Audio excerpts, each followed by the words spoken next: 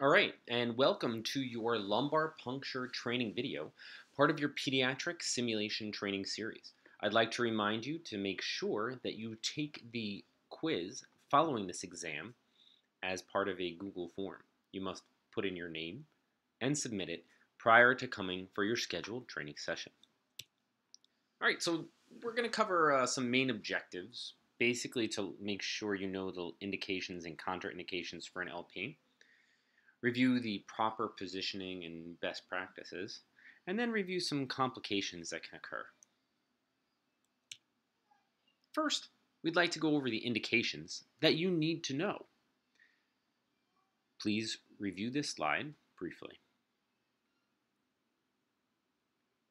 And just to read them off, it's meningitis, meningoencephalitis, subarachnoid hemorrhage, malignancy for its diagnosis and sometimes treatment, pseudotumor cerebri, some normal pressure hydrocephalus, Guillain-Barré syndrome, and vasculitis. This is not an all-inclusive list, so please feel free to review more on your own. There are some significant contraindications that I need you to make sure you know. If you have a patient who's apneic and bradycardic, that might not be the best patient to gun-ho go in and do an LP on right away.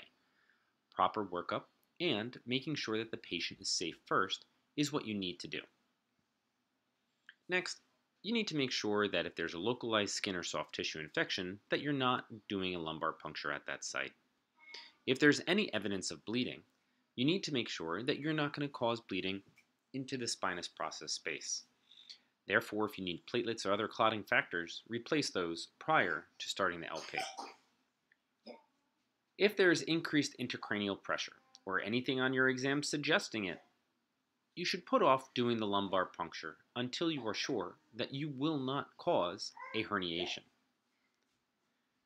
Any LP done below where you've done a spinal block can result in significant hypotension or loss of CSF. Finally, a Chiari malformation or other malformations of the spinal column can also result in bad outcomes. Next, Let's go over the equipment that you have. On the left, you can see our typical neonatal LP tray.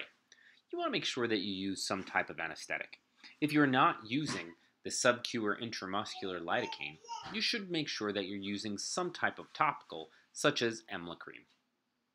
You need to make, make sure that you're using povidone This is also called betadine. And you can see the applicators in the kit there. You need to always don sterile gloves and a mask. Always use sterile drapes. Make sure you have gauze and potentially some band-aids or other bandages on hand. A manometer is always important to have. While in neonatal procedures, we don't always need to get the opening and closing pressure. But for other children, it remains a vital part of the procedure. Make sure you have enough collection tubes. Each kit typically comes with four. And if you need more collection tubes, make sure that you're using sterile, empty, with no preservatives in the tube. Finally, you need to have your spinal needle.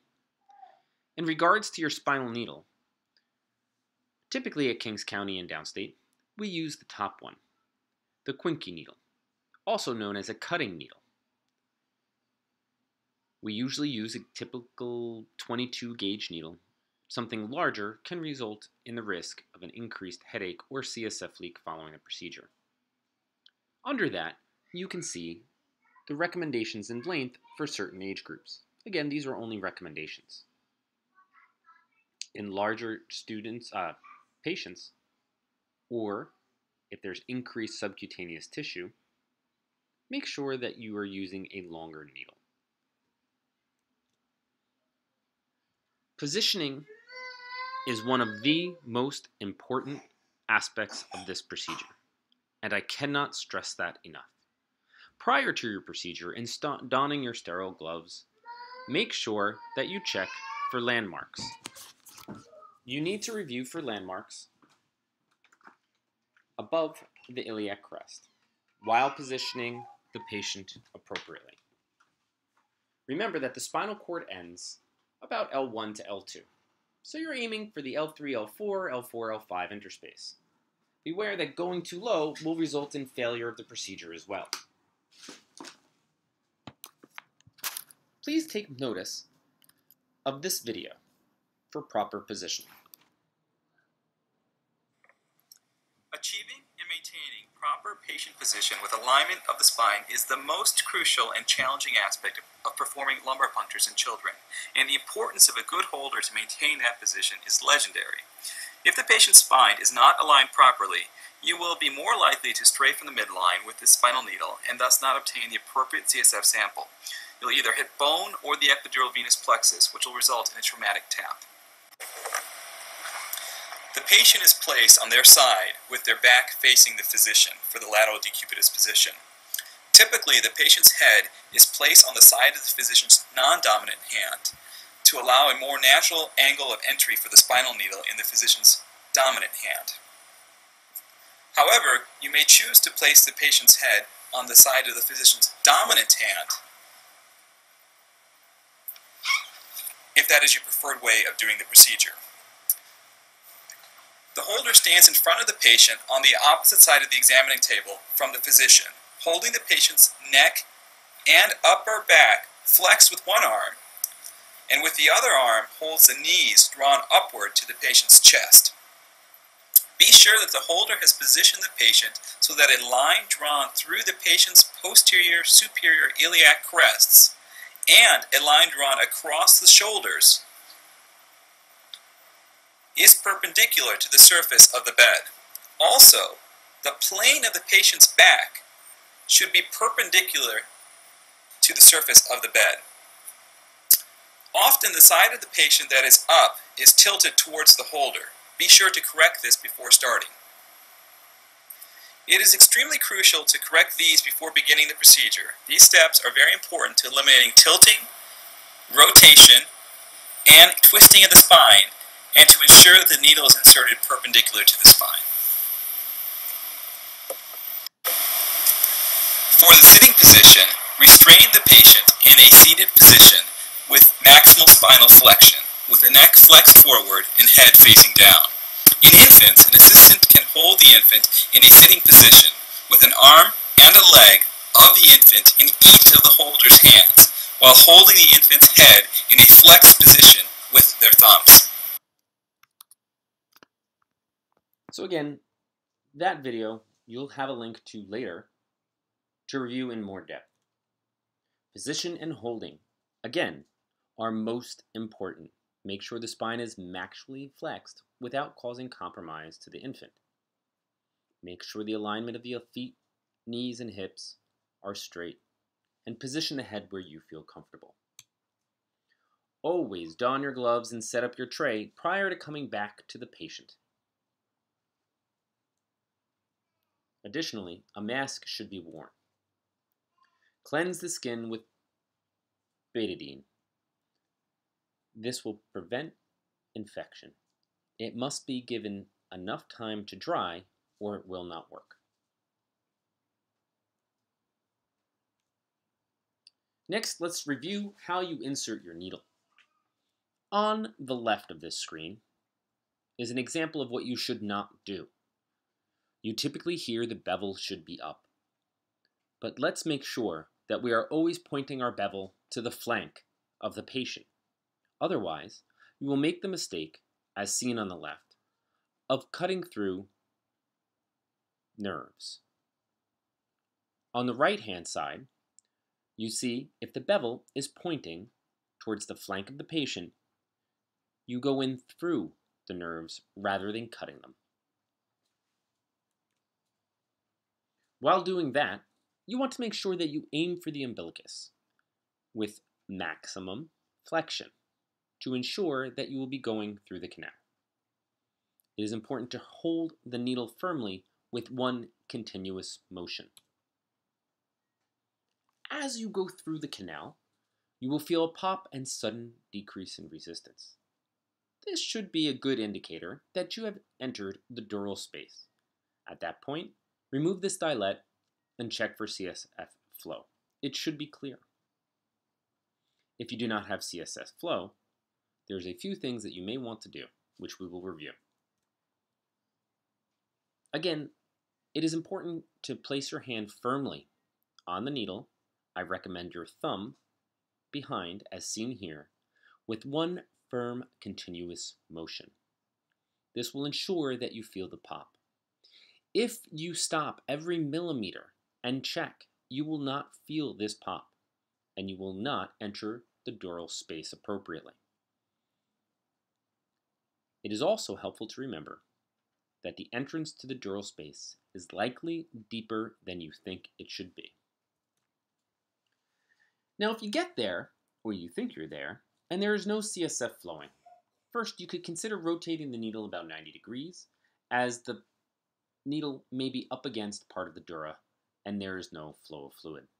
However, if you decide that this did not work, rotate the needle back, insert your stylet, and consider advancing slowly, then frequently checking for CSF flow. Jugular venous compression can also help increase CSF pressure, therefore flow. If you felt bony resistance soon on insertion of your needle past the skin, you're probably not in the space. If bony resistance is felt deep, you may be out of the space have, or have taken a wrong angle, or potentially through the dural space and hitting the vertebra. With all of these, you will want to bring the needle back while the stylet is still in. Then take a more cephalad approach to and increase patient flexion and reinsert. If bloody fluid is noted or there are clots in the tube, please reinsert the stylet and withdraw fully. Then, a reattempt at a different interspace. Manometry is a very important aspect that you need to consider on your patients. It is free information and can give you an idea of their clinical picture.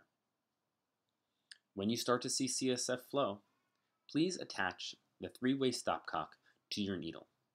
As seen on the neonatal tray earlier in this slide set, there is some flexible tubing, which may make it far easier if you attach that to your needle and then to your three-way stopcock. Note the positioning of the three-way stopcock to enable flow to go up your manometer. It can only be accurately used in the lateral decube position and a relaxed patient. There are two parts sometimes to your manometer. Make sure that you attach those prior to starting the procedure. It is time to read the pressure when it's at its highest level, and there is some respiratory variation noted. This does not always occur in pediatric patients. You want to make sure you get enough fluid. I recommend a minimum of 1 ml per vial. You may need more than that. You will want to get a culture and gram stain, glucose and protein, and a cell count with differential every time you do an LP. A cell count differential may be prudent to do on both the first and last tube if you notice the fluid is pinkish in color. That way you will see a clearing of your RBCs quantitatively. Finally, if you need more CSF for other tests, make sure you know how much you need prior to sticking the needle in the spine. When you're concluding your pr procedure, check closing pressure if desired, especially if you're looking for pseudotumor, or rather relieving pressure from pseudotumor. Once done, reinsert your stylet. I'll repeat that. Reinsert that stylet, and then remove the needle in one smooth motion. Cleanse the back and then cover the puncture site. Which is the most common complication of lumbar puncture? Yes, you know this one, it's headache. So again, headache is the most common, however extremely uncommon in less than 10 years old. So reconsider why they have a headache if noted. Apnea, back pain, brainstem herniation, although rare.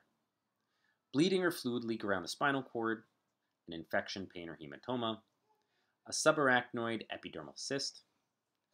You may have ocular muscle palsy, which could be transient, and also nerve trauma caused by inappropriate use of your needle.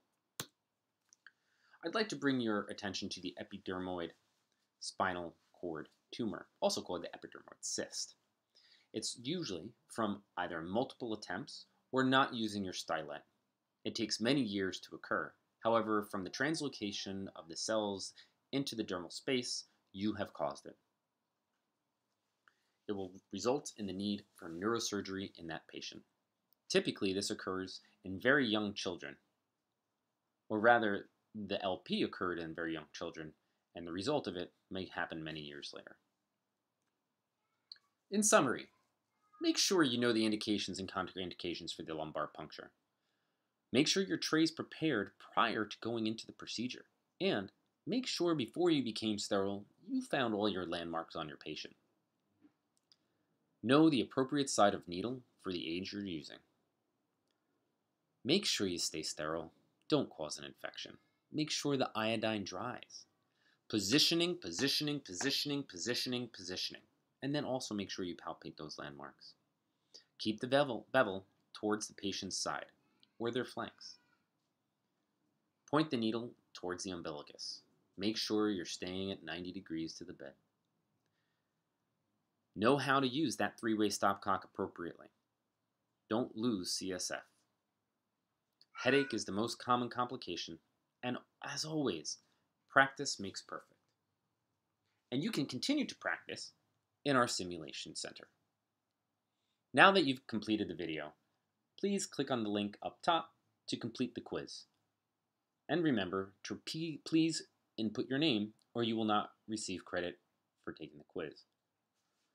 On the left, you'll see the video for neonatal intubation. And on the right, you'll have the link for the extended video seen earlier in this training session. Thank you guys very much. Please remember to subscribe and like this video and click on that alarm if you want to stay up to date on the best training videos out there. Have a great day.